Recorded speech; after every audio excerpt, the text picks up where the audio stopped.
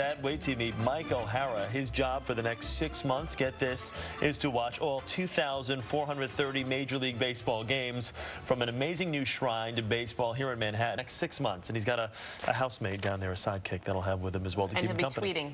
In between, exactly. He's going to blog about the whole As thing. one does.